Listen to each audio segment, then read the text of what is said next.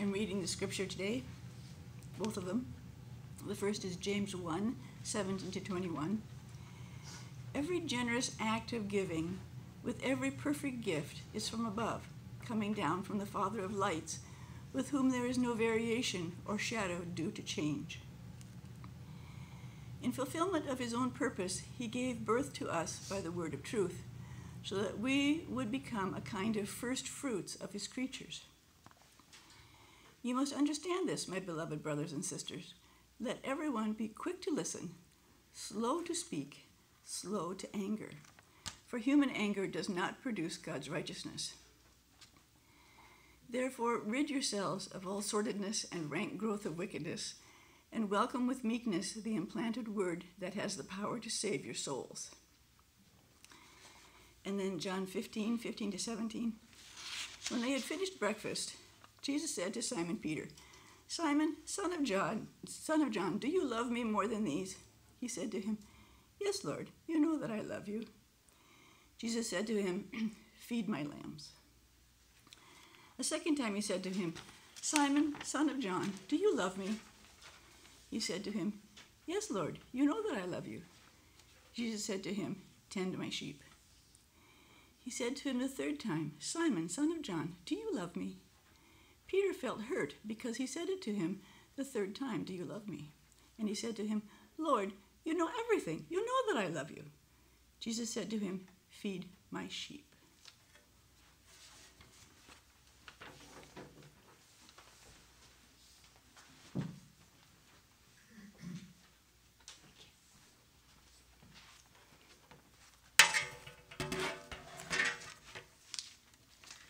Morning. I'm so glad to be with you this morning on this gorgeous, kind of windy morning.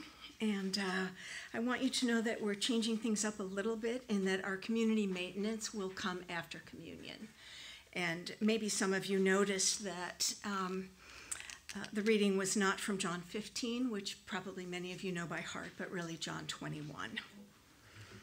I'm so glad that uh, the drive was easy. I love coming up here. Let's pray. Lord, may the words of my mouth and the meditation of my heart be acceptable to you, my rock and my redeemer. So, if we start with James, not not my most favorite book of the Bible, scholars think it was written by a Jewish Christian in Palestine.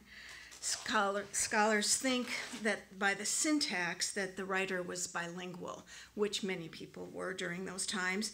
James was not at first included in the canon of Scripture, which first started to pull together around 200 of the Common Era.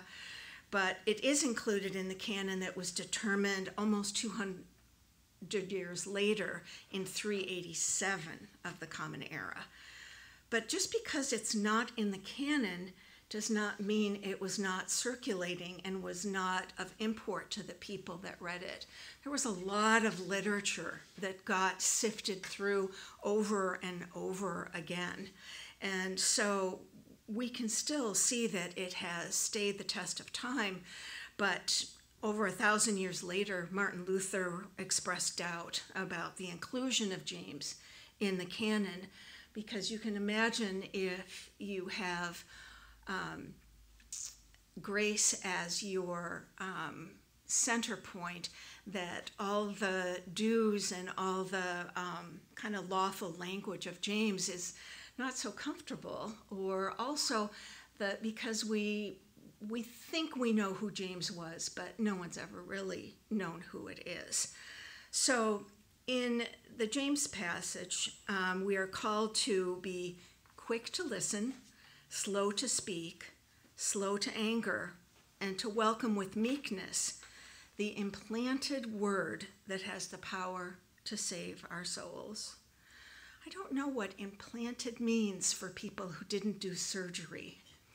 I seem to have an implant in this knee, so you'll have to take that um, um, from our you know 21st century point of view but i wonder what it meant to people, you know, in the first century.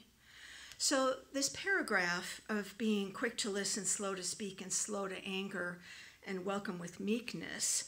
Um, the word with the power to save our souls is really against our current culture. Our political scene right now seems to be driven by anger. So to hear that anger does not produce righteousness is really part of the upside down kingdom. The author calls us beloved brothers and sisters. Again, it is our belovedness, the grace from Jesus that we are fully and entirely loved by God that makes our Christian life possible. This passage speaks to me um, because I am, you may have noticed, not at all slow to speak, and I get angry really quickly. I go from zero to 10 in an instant. Now, at my age, I have learned to control my anger and I get angry much less frequently. But it helps to know that anger is just an emotion. It's not bad or good, it's a feeling. And feelings come and feelings go. But I do believe in righteous anger. Anger can lead to social change, like in the civil rights movement. Even Jesus was angry when he cleared the temple. I hope you remember that the den of thieves he talks about is not that money was changing hands, but that the courts of the temple that were being used to buy and sell things were the only places that Gentiles and women, the outcasts, were allowed to worship. They were not allowed to go where the Jewish men were allowed to go. They certainly were not allowed into the Holy of Holies, where only a few were allowed. But the marketplace was where the outcasts could be because, of course, you know, if you discount someone's humanity, you don't mind taking up their space. I think that colonialism teaches us plenty about just taking over people's spaces. But women were allowed in the temple, and Gentiles were allowed in a different court. These are two different courts that are the outside rim where you would expect commerce to go on. But the practice of buying sacrifices is not what Jesus is criticizing here. He is criticizing that there's an injustice going on, and it causes him to have righteous anger. Anger can be a suit of armor that we wear when we are feeling attacked or too exposed. It, like a force field or shield, it can pop up. That's how I feel it happens with me to protect me. I go to anger first sometimes, but it does not produce righteousness. But it is a natural human emotion with an obvious place in our lives. I don't know if I'm the only one that gets angry, but sometimes as Christians, we uh, like to pretend we don't get angry. And sometimes that's about Iowa or I would say Minnesota nice.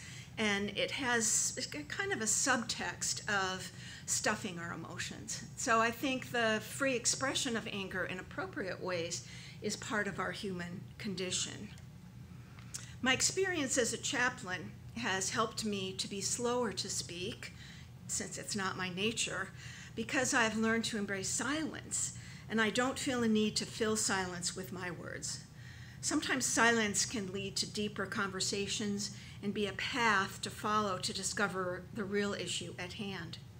Ephesians 4 5 tells us, Be angry, but do not sin. And of course, Psalm 4 4 says, Do not let the sun go down while you are still angry. So, scripture in other places has a real acceptance of anger. We're called to name our anger, but to not let it get the best of us. As a kid, as you imagine from what I've said, I threw a lot of temper tantrums. In reflection, I think I was acting out with the skills of a young child in a situation that didn't always make sense to me. And I'm kind of glad that I was acting out against a very dysfunctional situation um, I think that it caused me to have kind of a personal inner strength.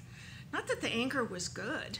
Oh, you should see me when I cry. I just look like like the worst possible person. I just get completely red and puffy and it lasts for hours. And so I, at one point, I think I was in seventh grade where you start to really care about these things.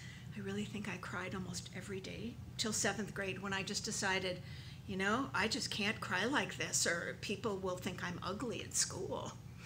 That's how seventh graders think. Now, I don't think that so much. But um, 1 Corinthians 13 tells us to put away childish things. And so I think that most of us have already done much of that work. For me, I started to feel a sense of call by doing the next right thing. Back when we used to be able to get, I'm so glad there's no one really young in, in the group. I think um, you are all younger than me, but um, we used to be able to get cassette tape copies of the weekly sermon. Did any of you go to a church like that? Did you guys have cassettes way back when? I can't believe that was considered, you know, cutting edge technology. But I missed the whole eight track tape thing because I just never, they kind of were concurrent.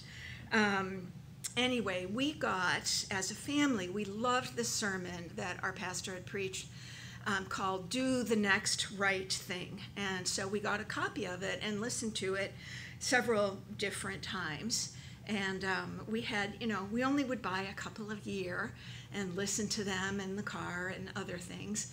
Um, during that period of my time, I was listening to a lot of Raffi and children's music. So um, the spoken word was some of the only adult stuff I got to hear.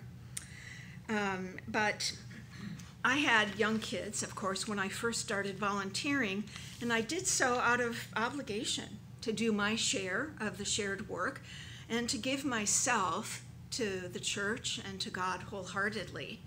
Um, as I worked with kids on Wednesday night programs, camps, Bible studies, I found that kids started to seek me out. Because I was open to them, they found me open and would find me to talk about all different things. Kids would just appear that wanted to talk. And more and more opportunities came my way. I began to help teach our summer staff that came on for our outreach programs and give workshops. I directed a traveling camp for several summers for kids um, going into seventh grade, planning all the meals and mapping everything and doing the content long before there was GPS. I drove the bus because a driver was needed, and I had a Class B license. That's another whole story. But Ecclesiastes 9:10 tells us, and I know it's just a reminder, whatever your hands find to do, do with all your might. After a few years, I started to have this desire in my prayer life to bless others in a more, I don't really have the words for this, in a more all encompassing way. It was the sense, my sense of being a vessel filled with the Holy Spirit and serving the world increased in my spiritual life, where I had this desire to serve the world in a broader way. By then, we had started a non denominational church, so I went to the seminary that my pastor had gone to. I loved the intellectual exercise of seminary, but spiritually it was not as fulfilling for me. It seemed more about dogma than connection to God.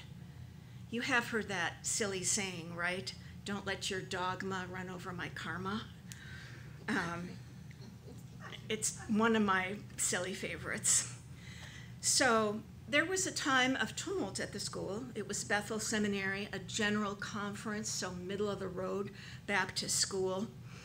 And there were many different denominations that attended.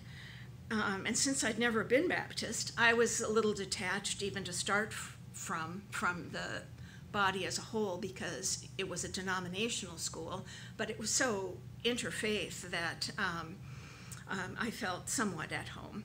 But the Southern well, it was a time of tumult in the church, and the Southern Baptists have recently voted the same way in a more restricted way quite recently. But back then, the Southern Baptists, um, the conservative relatives of the seminary I went to, um, voted to um, defrock any women that were senior pastors. So, in other churches that might have one or two pastors, the senior pastor is what we in our tradition called lead pastors. And so that meant that a woman could not be the solo pastor of a church. She would have to be an assistant. And during this time, you know, I was getting my Master of Divinity, um, but there were fewer of us and more women that were getting their masters in Christian education, which was kind of considered the appropriate avenue for women. And um, one of my good friends that I'll talk about was a missions major, and that was also considered very acceptable. But we MDiv um, students, when we raise our hand in class, um, oftentimes a male student would just correct us from the class. Um, and I left one classroom and this amazing student, because remember from last time I was here, the, from just last week, that, you know, I'm not such a great student, um, and I struggle to do different scholarly type things, although I do love it. Um, but she said, you know, he spoke like that to you because you're just a woman who spoke up, and he just doesn't think that's appropriate. So the we had a lot of conversation in the seminary about women's roles um, in the late 90s and early 2000 when I was in seminary. So all those women, there were only about eight of them in Minnesota, lost their jobs. But like a lot of higher education, the faculty were more progressive than the students, so I received what I think is a really good education but there were a few incidents. Once I was in a church leadership class, and I was the only woman, and it was one of our smaller classes, so it was me and 12 men learning how to lead a church. And we were scheduled to lead a mock board meeting and use the skills we were learning in class that day. The professor had been an interim pastor of mine, so he knew me by name and, um, you know, he kind of knew me. And he asked for a volunteer to lead the meeting. Now, in this group of men, remember, I am not slow to speak.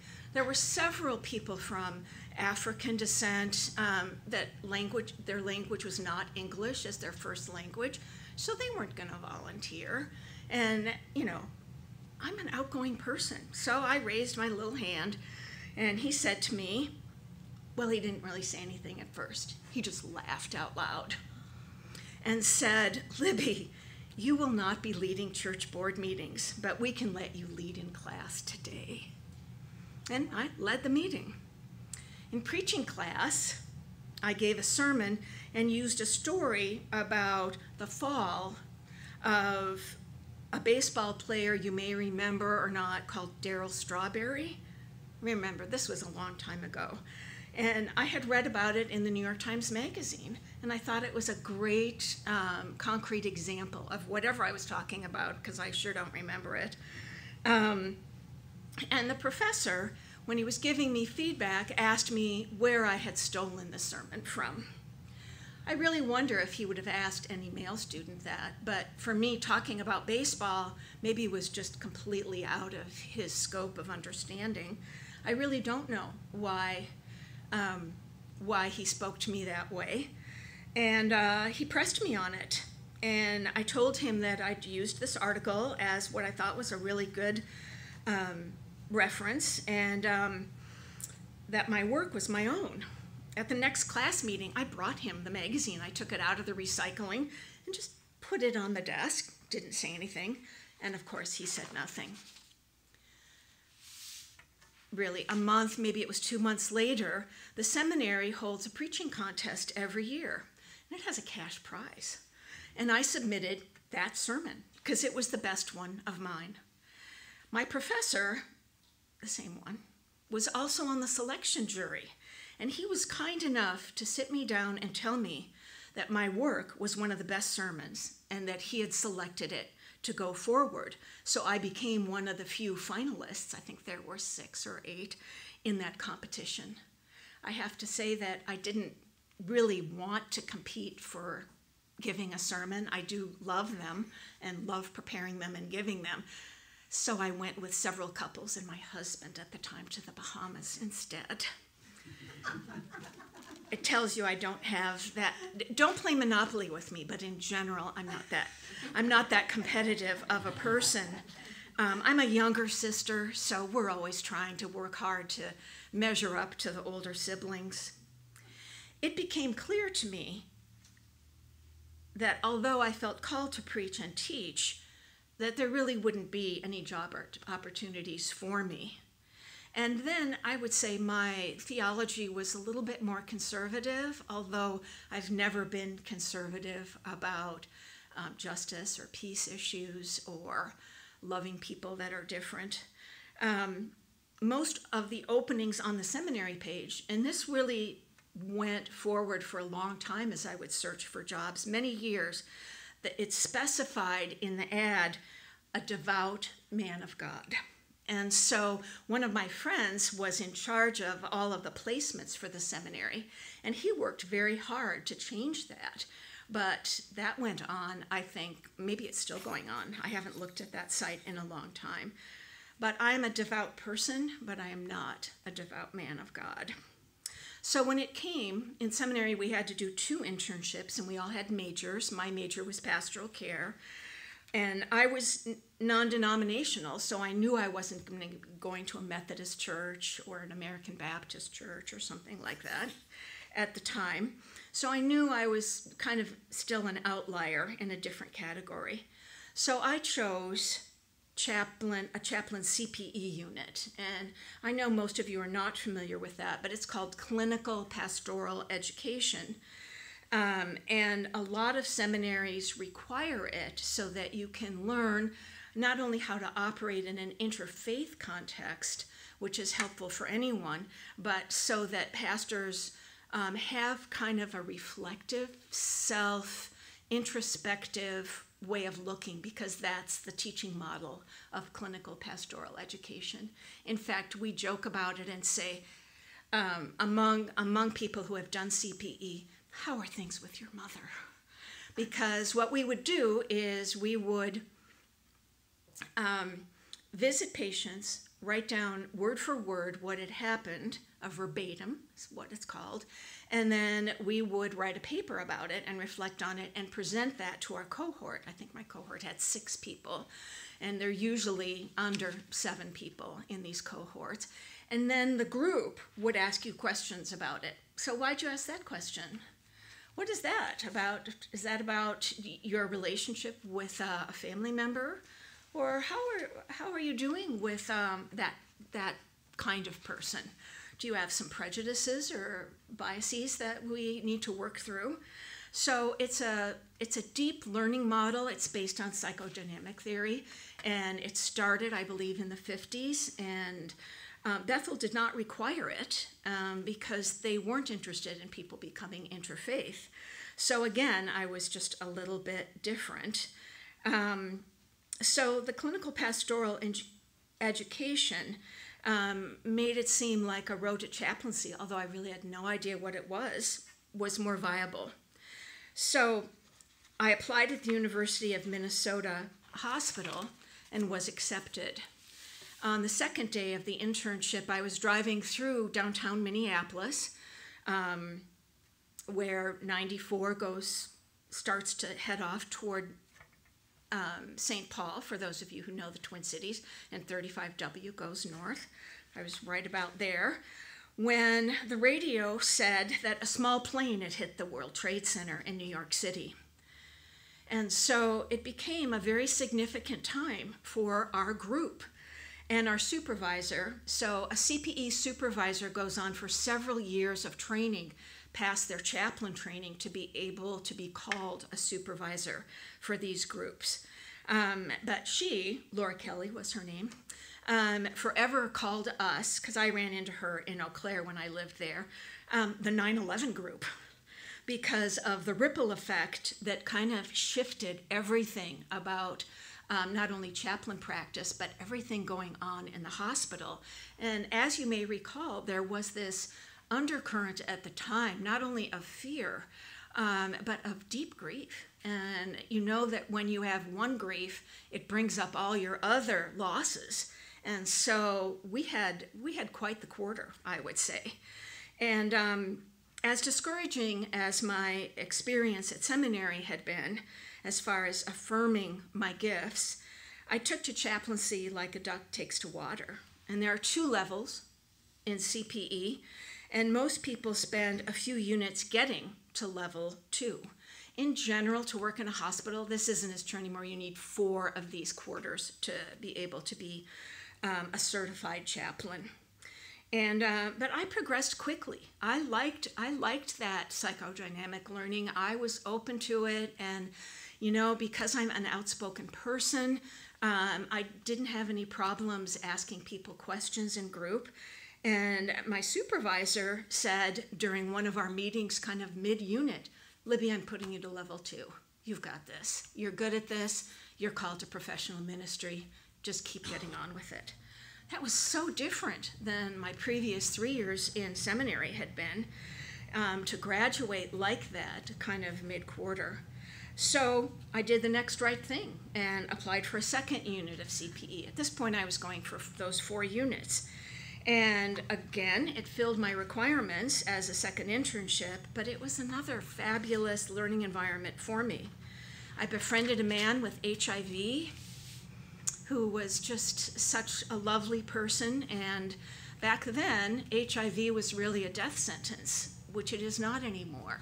So he had a sense that he was living day to day and that he wanted every day to count. So I was really inspired by him always and I ministered to a lot of people. It was an inner city rehab hospital, and uh, a particular woman, I just just adored her. I just thought she was the greatest thing. She had been only six months sober, so she did not qualify for a liver transplant, and so I accompanied her as she became ready to die. And it was an honor and a privilege, and really the first time I had done that, except for emergencies um, in my previous um, internship. So after I graduated, I kept going and applied for a year long residency of CPE, which gave me four units in just that year. So I had a total of six units, more than I needed for getting a job. Um, but I did with the intention of specializing in psych. You can imagine that from maybe some of the other things that I have told you. In that second internship, many of my patients had had a psychiatric diagnosis eh, as well as the reason they were in the rehab hospital. So they'd come out of the hospital maybe with um, some kind of injury, and then because I sat in on rounds and things like that, I knew that they had another diagnosis as well. And so I had built such great rapport with those people, I just thought, well, maybe this is the right path to take. So some of determining your own call is what are you good at? So I spent a full year at Abbott Northwestern Hospital on their four psychiatric units, seeing patients, learning to do groups, and I had great mentors that were music therapists and art therapists, as well as a few doctors. And because of that training, I was able to get a job at a freestanding behavioral health hospital in a Chicago suburb, and my learning continued. How did I persevere through seminary without the affirmation of that particular system? I had a deep knowing that I was called. And that's what propelled me forward, even though I could have been discouraged at many different many different crossroads. My spirituality held me together, and I could discern os- obstacles that I faced to just call them human foibles. Eh, that I could see that God was working in their lives, but they just didn't have the understanding of women in leadership. So it's not that I faulted them or blamed them. And because I hadn't really been affirmed except by Laura Kelly, um, and people that told me to go to seminary before that, um, that was my normal. Just like a lot of things, whatever's normal for you is what you accept.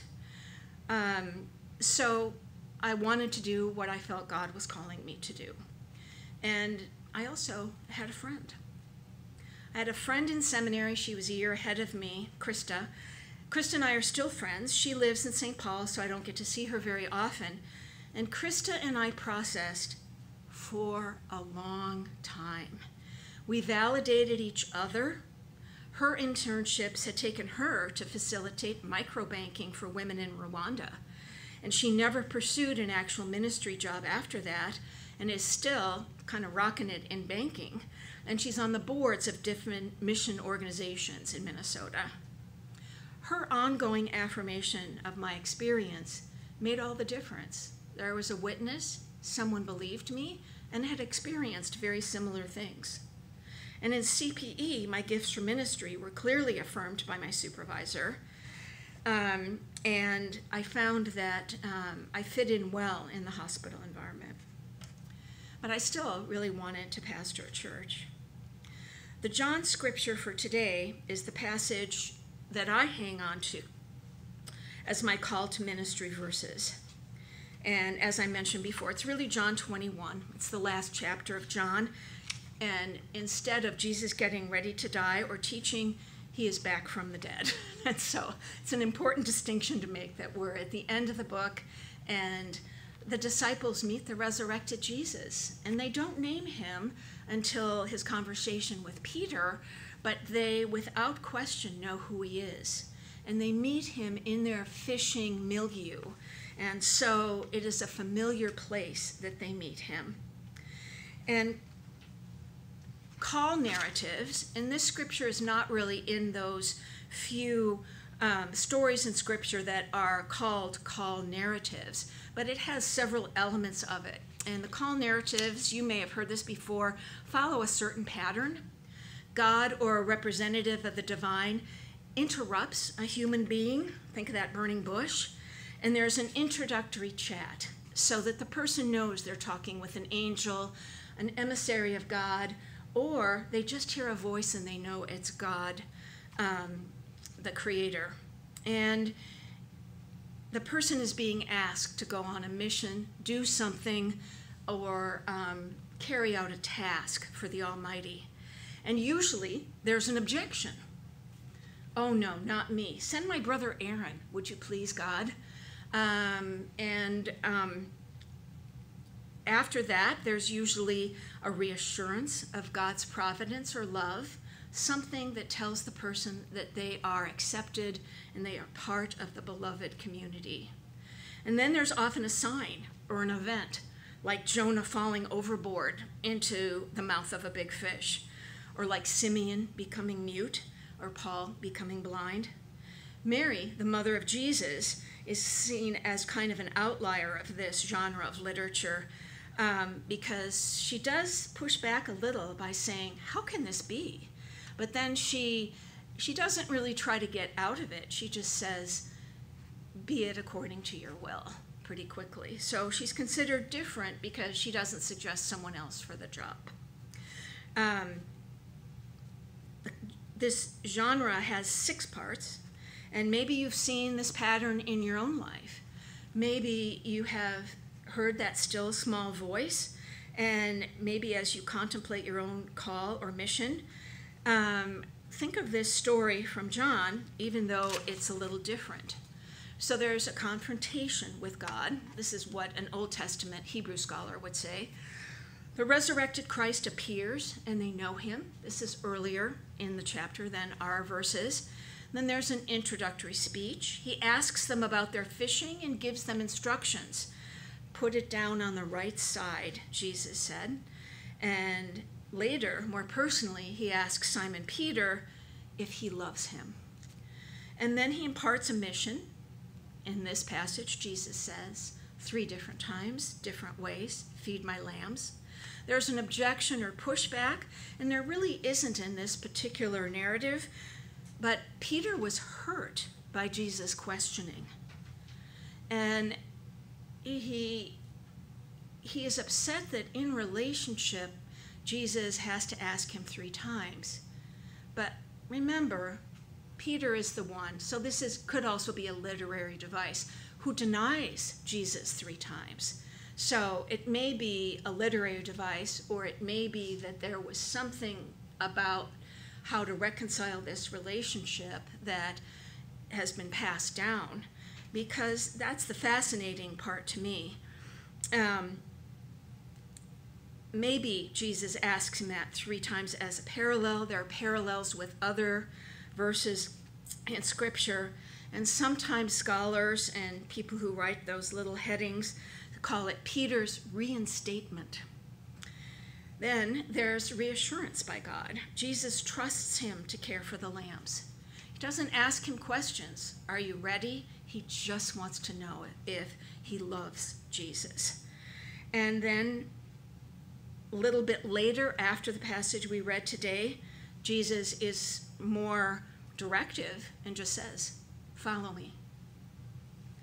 And then there's a sign, and I'm guessing that that's earlier in the passage where exactly 153 fish were caught for these few disciples, and that Peter is forgiven is not obvious in this, but he is back in relationship with the risen Christ.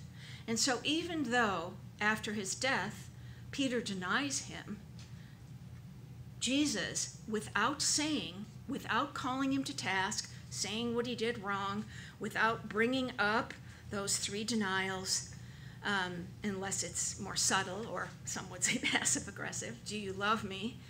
Um, but Peter, Peter loves him, and that's what the gospel is about: our love for each other. Um, Peter is forgiven without being told he is forgiven.